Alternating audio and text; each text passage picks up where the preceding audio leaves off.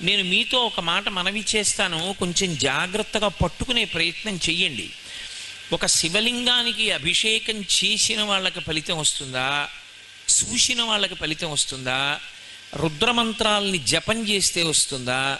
రుద్రమంత్రాన్ని పైకి చదివితే వస్తుందా? అని అడిగారు అనుకోండి ఈ అనుమానం వస్తుందని యజుర్వేదంలో శ్రీరుద్ర ప్రారంభంలోనే దీనికి వివరణం చేశారు. అసలు శివలింగానికి అభిషేకం చేస్తే లోకం ఎందుకు చల్లబడాలి? అంటే అక్కడ జరుగుతున్నటువంటిది కేవలం శివలింగానికి అభిషేకం అని అనుకోకూడదు. శివలింగానికి ఒక లక్షణం ఉంటుంది. అది ఐదు వైపులకి చూస్తుంది. కరచరణాదులతో ఒక మూర్తి ఉందనుకోండి కాళ్ళు చేతులతో అది వెనక్కి చూస్తుందని చెప్పకూడదు. తప్పు. ఎందుచేతనంటే వెనక్కి కళ్ళు పెట్టరు. వెనక నుంచి పూజ ఉండదు. కరచరణాదులతో ఉన్నటువంటి మూర్తి ఉన్న దేవాలయంలోకి వెళ్ళి వెనక కూర్చుని పూజ చెయ్యకూడదు. అది నిషిద్ధం శాస్త్రంలో. నేను ఏదో బాలాత్రిపుర సుందరి అమ్మవారి దేవాలయానికి వెళ్ళి అమ్మవారి పక్కన కూర్చుని కుంకుమార్చన చెయ్యాలి తప్ప అభిముఖంగా కూర్చుని పూజ చేసేటటువంటి అధికారం అసలు దేవాలయంలో పక్కన పెట్టండి. ఇంట్లో కూడా లేదు. ఇంట్లో కూడా మీ పూజా మందిరానికి అభిముఖంగా కూర్చుని మీరు పూజ చేస్తే కొత్తగా ఫలితం వచ్చే మాట దేవుడెరుగు కానీ మీకున్నటువంటి తేజస్సుని హరించేస్తాడు ఈశ్వరుడు. కారణం ఏమి అంటే నేను విశేషమైన తేజోవంతమైన దీపం వంక అలా చూశాను అనుకోండి నా కంటికి చూసే శక్తి సన్నగిల్లుతుంది కాసేపు చీకటిగా ఉంటుంది. ఎందుకంటే దాని శక్తి ముందు నా కంటి శక్తి చాలదు ఈ వెలుతురు ఆ వెలుతురు ముందు నిలబడలేదు. అలాగే మన తేజస్సు ఈశ్వర తేజస్సు ముందు నిలబడదు. నిలబడదు కాబట్టి ఏది ఎక్కువ తేజస్సు అది తక్కువ తేజస్సుని హరిస్తుంది. మీరు పూజలో ఎంతసేపు అభిముఖంగా కూర్చున్నారో అంతసేపు మీ తేజస్సుని ఈశ్వరుడు హరిస్తాడు. అయితే ఒక్క ఉపకారం జరుగుతుంది. ఇంట్లో సింహాసనంలో ఉంటాడు కాబట్టి రక్షిస్తూ ఉంటాడు. అందుకే అభిముఖ పూజ లేదు. భగవంతుడికి ఎదురుగుండా కూర్చుని పూజ చేయడం అనేటటువంటిది పరమ అశాస్త్రీయమైనటువంటి పూజ. అసలు అటువంటి పూజ చెయ్యనే చేయకూడదు. ఎక్కడా జరగకూడదు. దేవాలయంలో కూడా అర్చన చేసేటప్పుడు ఒక పక్కకి కూర్చుని అర్చన చేస్తారు దక్షిణ దిక్కుని చూడకుండా. దక్షిణ దిక్కుకి చూడకుండా చెయ్యాలి పూజ. చేసే నమస్కారం దక్షిణానికి వెళ్ళకూడదు. ఒక్క సంధ్యావందనం చేసినప్పుడు దిగ్దేవతా నమస్కారంలో తప్ప ఇతర కార్యముల ఎందు దక్షిణ దిక్కుకి నమస్కారం లేదు. అందుకే మహాత్ములు శరీరం విడిచిపెట్టినప్పుడు వాళ్ళ యొక్క సమాధి మీద శివలింగం ఉంచితే అధిష్టానం అంటారు. తులసి చెట్టు ఉంచితే బృందావనం అంటారు. అధిష్టానానికి కానీ బృందావనానికి కానీ వెళ్ళి నమస్కారం చేసినప్పుడు దక్షిణ దిక్కెటు అని అడిగి నమస్కారం చేయాలి మన ఇష్టం వచ్చినట్లు నమస్కారం చేస్తే అది యమధర్మరాజు గారికి ఎడుతుంది. ఆయన దక్షిణ దిక్కుకు అధిపతి. ఆయన ప్రీతి చెందాడనుకోండి ఆయన ఇవ్వవలసిన అనుగ్రహం ఆయన ఇస్తాడు. అది మనకి ఆమోదయోగ్యం కాదు కాబట్టి అంటే ఏమంటే మరి ఎప్పటికీ చచ్చిపోకూడదా?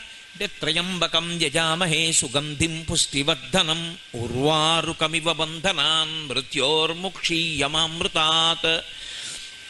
ఈ శరీరము ఋతుమంతము కావాలి. అంటే దీనిలో ఉండి ధర్మానుష్ఠానం చేసి భక్తితో జీవించి భక్తితో కూడినటువంటి కర్మాచరణము వలన ఈశ్వరుని యొక్క అనుగ్రహంగా జ్ఞానాన్ని పొంది ఆ జ్ఞానము వలన ఈ శరీరము నేను కాదు ఆత్మ అనేటటువంటి అనుభవంలోకి వచ్చి తాను ఆత్మగా ఉండి శరీరం పడిపోతున్నప్పుడు ఏ విధమైనటువంటి ఉద్వేగం లేకుండా సాక్షిగా చూస్తూ శరీరాన్ని విడిచిపెట్టాలి. అది ఎలా విడిచిపెట్టాలి అంటే ముచిక నుంచి చాలా తొందరగా తనంత తాను విడిపోయే పండు ఈ లోకం మొత్తం మీద ఒక్కటే దోసపండు ఒకటే విడుతుంది అలా దోసపండు నేల మీదే కాస్తుంది. దోసపండుని పందిరి ఎక్కించరు దోసపాదు నేల మీదే పాకుతుంది. దోసకాయ పెద్దదైపోతుంది. పెద్దదైపోయి రంగు మారిపోయి పచ్చగా అయిపోతుంది. పసుపచ్చగా అయిపోయిన దోసపండు ముచిక నుంచి ఎప్పుడు విడిచిపెట్టిందో మీకు తెలియదు మీరు దగ్గరకి వెళ్ళి పండుని కదిపితే తెలుస్తుంది ముచిక వదిలిపెట్టింది అని. అప్పటి వరకు తెలియదు. అందుకే సనాతన ధర్మంలో చూడండి ఎక్కువగా ఒక మాట వాడతారు. ఆయన పండిపోయారండి అంటారు. పంటలు పండాయండి అంటారు. పిల్లలు ఆడుకుంటే పంటలు వేసుకోండి అంటారు. ఆఖరికి పరమపద సోపాన పఠము అని ఒక పఠంలో ఆట ఆడితే నా పిక్క పండిపోయిందంటారు. పండిపోవడం అంటే ఏమిటంటే బలవంతంగా ముచిక నుండి విడకూడదు. తనంత తాను ముచిక నుండి విడిపోవాలి. విడిపోయే ముందు రంగు మారిపోవాలి. లోపల ఉన్న గట్టి పదార్థం అంతా గుజ్జుగా అయిపోవాలి. తీయగా అయిపోవాలి. అయిపోయి తనంత తాను రాలి కింద పడిపోవాలి. దాన్ని పండిపోవడం అంటారు. పండిపోవడం అంటే జ్ఞానం కలగడం. ఆ జ్ఞానం కలిగే వరకు ఈ శరీరమునందు ఉండాలి. అంతేకాని ఇది అసత్యం కదండి అని దీన్ని పడగొట్టే ప్రయత్నం చెయ్యకూడదు. ఆత్మహత్య మహానేరం అందుకే. కాబట్టి దక్షిణ దిక్కుకు తిరిగి నమస్కారం చెయ్యరు. చెయ్యకుండా ఒక్క మూడు దిక్కులకే తిరుగుతారు. అందున ప్రత్యేకించి కరచరణాదులతో కూడినటువంటి మూర్తి ఉన్న దేవాలయంలో వెనక్కి వెళ్ళి నమస్కారం అసలు చేయరు. వెనక నుండి పూజ చెయ్యరు. కానీ ఒక్క శివలింగం దగ్గరికి వచ్చేటప్పటికి ఆయనకు ఒక పేరుంది వేదాంతంలో. అరూపరూపి అని పేరు శివలింగానికి.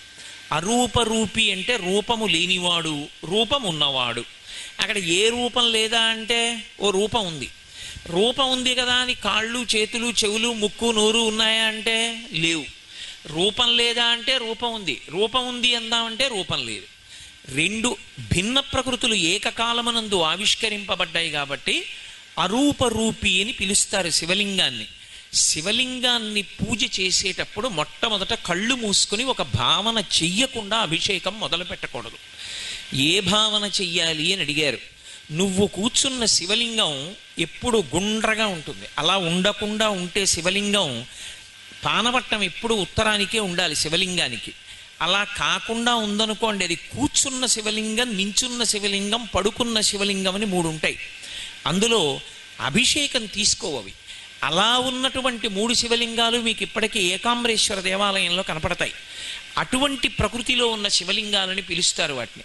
సాధారణంగా మనం అభిషేకం చేసేటటువంటి శివలింగం మనం ఎదురుగుండా వెళ్ళి కూర్చున్నప్పుడు అభిషేకం చేసేటప్పుడు ఒక భావనతో మొదలు పెట్టాలి. గుండ్రంగా ఉంటుంది శివలింగం. ఇప్పుడు ఆ గుండ్రంగా ఉన్న శివలింగం పెరగడం మొదలుపెట్టింది అనుకోండి. ఇంత శివలింగం ఉంది.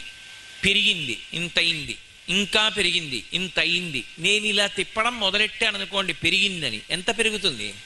బ్రహ్మాండాలన్నీ చుట్టేస్తుంది. ఇప్పుడు నేను ఎక్కడున్నాను? శివలింగంలో ఉన్నాను. శివలింగంలో లేనిది ఏదైనా ఉందా ఇప్పుడు? శివలింగంలోకి రాలేదు అన్నది ఏదైనా ఉంటుందా? ఉండదు. మరి అభిముఖంగా కూర్చుని పూజ చేయకూడదు అని నేను అన్నాను. ఇందాక అభిషేకం చేసేటప్పుడు అటు కూర్చున్నారు ఇటు కూర్చున్నారు ఇటు కూర్చున్నారు ఇటు కూర్చున్నారు. మరి ఎటు చూస్తున్నట్లు శివలింగం? అభిముఖం అంటే ఎటు చూస్తోందో దానికి ఎదురు మనం చూడకూడదు అని.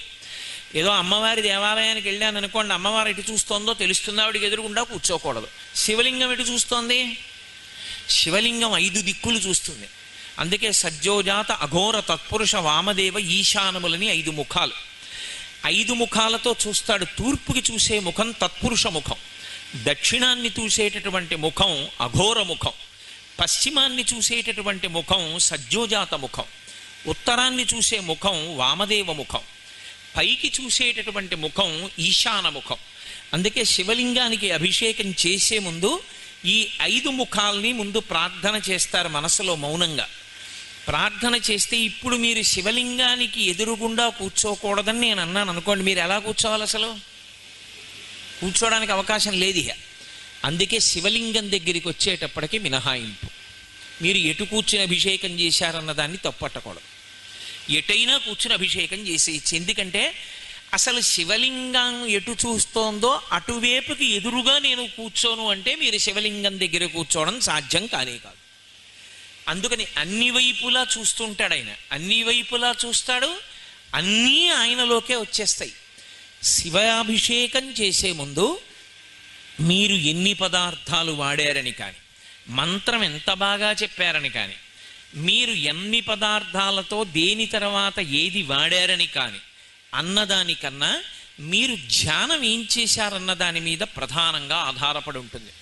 అందుకే ఆపాతాళ నభస్థలంత భువన బ్రహ్మాండమా విస్ఫురత్ జ్యోతి స్ఫాటికలింగమౌళి విలసత్పూర్ణేందువాంతామృతై అస్తోకాప్లుతమేకమీశమనిశం రుద్రాను వాకాన్ జపన్ ధ్యాయేత్ ఈప్సిత సిద్ధయే ధ్రువపదం విప్రోభిషించే శివం బ్రహ్మాండ వ్యాప్త దేహాభసిత హిమరుచాభాసమానా భుజంగై కంఠే కాళాహ కపర్దాహ కలిత శశికళశ్చండ కోదండహస్తా త్రిక్ష రుద్రాక్షమాల సొలజి సొలలిత వపుష సంభవా మూర్తిభేదా.